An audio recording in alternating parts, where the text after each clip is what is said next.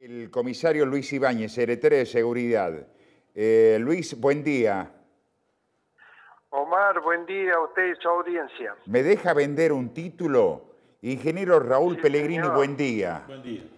¿Caso Pisa esta semana puede provocar ruido? A lo sumo hasta la semana que viene por los plazos procesales. Bien, ahora sí vamos al tema. Ángel Rafael. Bueno. Gracias, Raúl, no, ya conversamos. Nosotros la semana pasada recibimos la información, lo habíamos anticipado, era extraoficial, que eh, entre el miércoles, jueves y viernes de esta semana iban a comenzar las preinscripciones online para la policía. Y hoy teníamos la confirmación también en privado, pero mejor que lo haga alguna autoridad del Ministerio de Seguridad, que no solo se va a dar la preinscripción para ingreso a la policía, sino también para el servicio penitenciario. Comisario Ibáñez, ¿es así? ¿Ya está definida la fecha para la preinscripción? Buenos días, Ángel. Este, bien, está definido para este día miércoles, jueves y viernes la preinscripción para el personal aspirante a la policía de la provincia. Para el servicio penitenciario también está próximo, eh, faltan cumplir los plazos administrativos, seguramente lo vamos a anunciar esta, la semana entrante. O sea, arranca con la policía y la semana siguiente con el servicio penitenciario. Así es, así es, sí. ¿Cómo va, a ser, previsto ya. ¿Cómo va a ser el sistema de inscripción para los dos casos? ¿Qué es lo que se va a pedir y va a ser eh, únicamente vía online? En los dos casos, la preinscripción de estos tres días que se va a iniciar estas semanas es online. Este, luego, obviamente, se prepara, se presenta físicamente los papeles la semana subsiguiente y así es el trámite que requiere, ¿no? Están insertos los requisitos para el para este llamado que se va a hacer eh, para este año.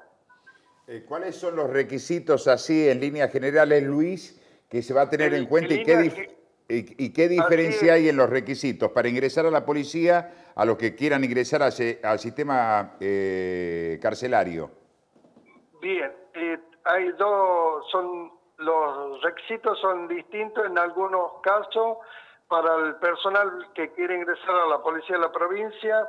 El requisito es tener el título secundario, eh, no tener antecedentes penales, eh, estar comprendido entre las edades de 19 a 25 años y la presentación del certificado de buena conducta.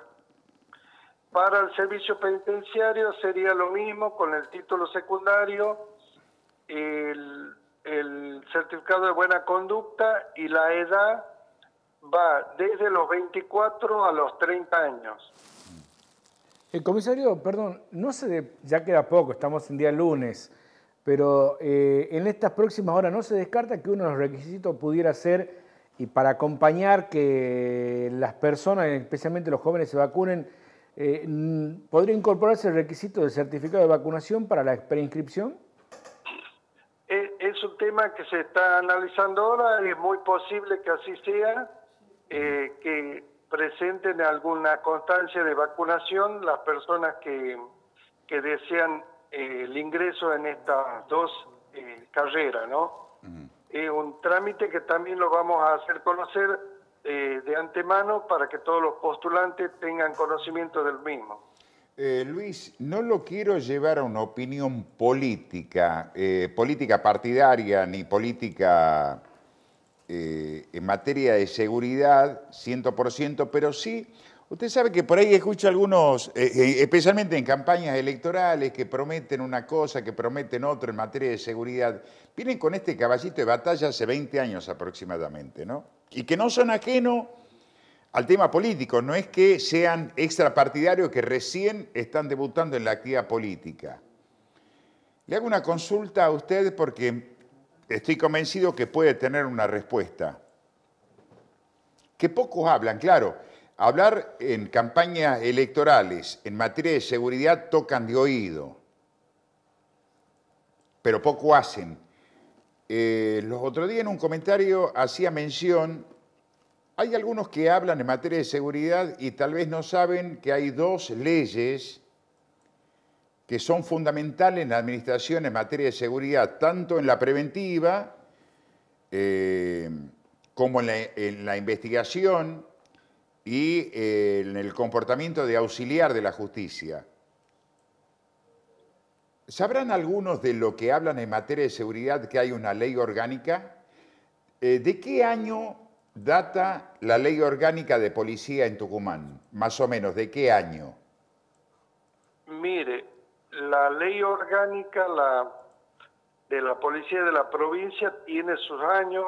Es así que en estos últimos tiempos nosotros estamos preparando un borrador para adecuarnos a los tiempos. Sí. Eh, tiene mucho más antes que el, que el 1970, ¿me entiende? Que todo, eh, por ahí este, dicen, no, en la época del, De la del dictadura. proceso cuando se han formalizado las leyes, no, esto está mucha, mucho antes, ¿no? Ahora digo, Eh, de se todos los candidatos, La de la misma. de, de ahora de todos estos candidatos que hablan de seguridad, que dicen, a ver, no han presentado un proyecto. Para ese estamos hablando de la ley orgánica. ¿Y la ley del personal policial cuántos años aproximadamente? También tiene su año, Omar, este, son leyes que a estos tiempos las tenemos que actualizar. Por eso les reitero, Sí. son todos borradores que tenemos ya en tratamiento, en estudio, que se hizo a nivel plana mayor, a nivel ministerio, que se están haciendo los estudios para tener una presentación y que se pueda, todo el mundo la pueda observar para recién hacer un pedido formal al, Poder Legislativo. Lo que pasa es que algunos dan discursos para, le ponen oído, le ponen música al oído de la gente y no conocen realmente absolutamente nada, solamente tocan de oído habitualmente, ¿no? Sobre el tema de seguridad. Eh, porque estamos hablando de leyes de, antes de la dictadura, incluso estamos hablando. eh, pocos conocen, y le digo más, voy a meter el dedo en la llaga y le pido mil disculpas, no es mi intención, pero lo tengo que hacer al comentario. No sé si en la, en, en la ley eh, que crea la policía habla de las policías municipales, porque eso no existía nunca. Yo personalmente, No, parti- no. particularmente, personalmente, Luis, tengo que hacer un comentario público. Nunca fui partidario que los municipios tengan un rol en materia de seguridad, porque el Estado provincial es el que debe administrar el tema salud, el tema educación y el tema seguridad. Y de pronto, por distintas situaciones, bueno, de la creación de la caja única para acá, se hicieron algunas situaciones que no estaban en el marco de la ley. El tema del funcionamiento de las policías municipales no está en la ley orgánica, ¿no es así? No, no figura, Omar. Esa es una, la ley de policía municipal o de vigía municipal es, es muy nueva. estamos culminando con la reglamentación.